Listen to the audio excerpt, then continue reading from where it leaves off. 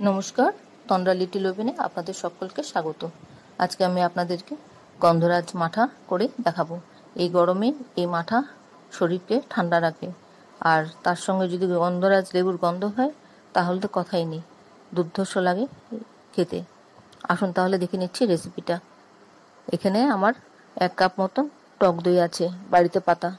এই টক দইটা আমি সবটা একটা পাত্রে ঢেলে দিলাম। আর তার মধ্যে যা যা লাগবে সেগুলো দিচ্ছি। আমি থ্রি টেবিল স্পুন চিনি দিলাম।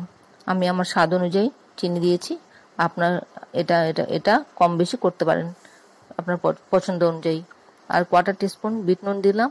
আর হাফ টিস্পুন চাট মশলা দিলাম। আর কোয়ার্টার টিস্পুন নর্মাল নুন দিলাম। এবার সবগুলো একসঙ্গে আর এর মধ্যে দিচ্ছি একটা গন্ধরাজ লেবুর জেস্ট উপরের স্কিনটা পাতলা স্কিনটা আস্তে আস্তে করে ঘষে পুরোটা একটা লেবুর টেস্ট আমি এর মধ্যে দিয়ে দেব। আস্তে আস্তে করে এরকম করে ঘষে আমি একটা লেবুর পুরো জেস্ট দিয়ে দিচ্ছি। দেখুন, এইভাবে আমি সবটা দিয়ে দিলাম। একটা লেবুর পুরো জেস্ট আমি দিয়ে দিলাম। এবার তার সাথে আমি খানিকটা গন্ধরাজ লেবু রসও আমি দিয়ে দেব, যাতে টেস্টটা ভালো হয়। দেখুন, দেখে নিন কীরকম টেস্টটা দিয়ে দিলাম। একটা লেবু, একটা পিস আমি রস দিয়ে দিচ্ছি। খুব ভালো করে দিয়ে দিলাম। এবার আমি তার সাথে একটু ফ্রিজের ঠান্ডা জল মিশিয়ে দিচ্ছি। এবার ডালের যে কাটা থাকে, সেই কাটা দিয়ে আমি এটাকে একটু ঘেটে দেবো।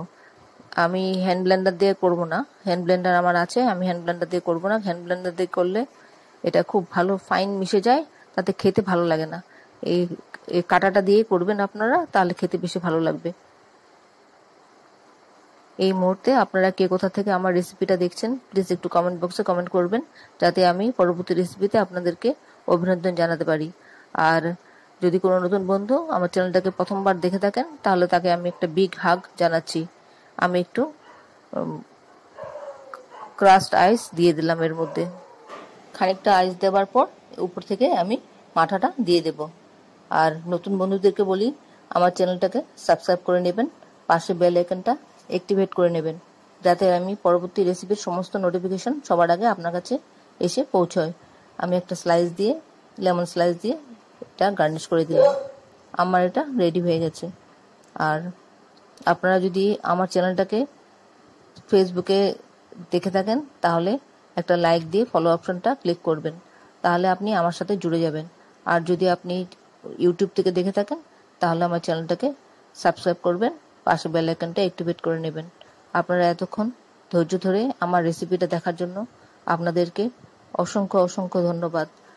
এভাবে আপনাদের খেয়ে কেমন লাগল, সেটা জানাতে ভুলবেন না। কমেন্টসে অবশ্যই কমেন্ট বক্সে জানিয়ে দেবেন কেমন হলো। তা আমি আপনাদের কমেন্টসের অপেক্ষা থাকি। আপনাদের কমেন্টস পড়তে আমার খুব ভালো লাগে। এই জিনিসটা এখন ইফতারে চলছে। তারাও ইফতারে এটা রোজার মাসে ইফতারে তারাও খেতে পারে এটা, এই ড্রিঙ্কসটা। এই ড্রিঙ্কসটা খেলে খুব ভালো লাগবে। সবার শরীর ঠান্ডা হয়ে যাবে। আপনাদের বন্ধু বান্ধবরা যারা একটু বিভিন্ন ধরনের কোল্ড ড্রিঙ্কস খেতে পছন্দ করেন, তাদের সাথে এই মাঠাটা শেয়ার করবেন। তাহলে তারাও উপকৃত হবে, তারাও বাড়িতে বানিয়ে এটা খেতে পারবে অনায়াসে।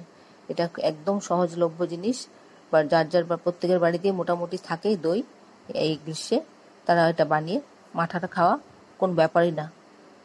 আর যদি ভালো লাগে তাহলে একটা লাইক দেবেন। লাইকটা দিলে আমি বুঝতে পারি যে আপনাদের আমার রেসিপিগুলো পছন্দ হচ্ছে কি হচ্ছে না। তাহলে আপনারা সকলে ভালো থাকবেন, সুস্থ থাকবেন। ঈশ্বরের কাছে এই কামনা করি।